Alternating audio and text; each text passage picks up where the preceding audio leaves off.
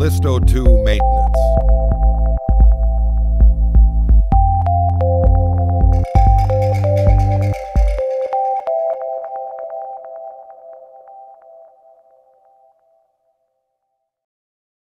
Objectives of this instructional video. After viewing this video, you should be able to perform maintenance on the monitor. Annual maintenance of the Calisto mounting post. Inspect the U-bolts, the anchors and their screws, and the shock mounts and their screws. Tighten if necessary. Check the condition of the shock mounts. There should not be any delamination or cracks.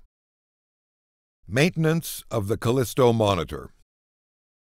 One week after commissioning, as well as every six months thereafter, Morgan Schaffer recommends connecting the unit to a laptop computer via a USB port and using Calisto Manager software to upload the database and the event log and email these files to Morgan Schaffer's Technical Support Department at support at morganschaffer.com.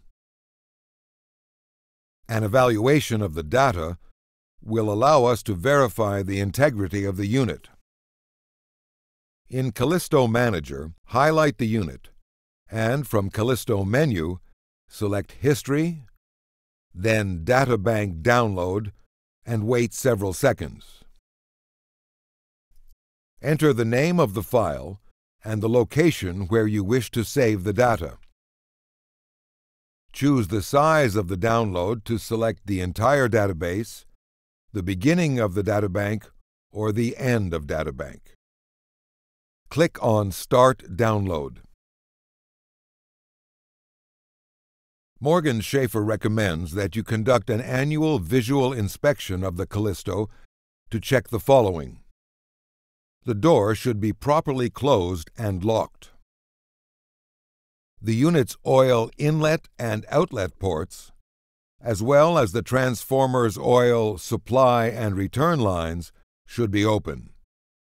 The display on the door should be lit. There should be no visible oil leaking from the unit. The vents designed to allow air to circulate below the unit should be clean and unobstructed. If necessary, use compressed air to clean the vents. This concludes the instructions for maintaining a Calisto 2 online DGA monitor. For more information, please contact Morgan Schaffer's Technical Support Department. This video was produced by Morgan Schaffer. Morgan Schaffer. Accuracy is everything.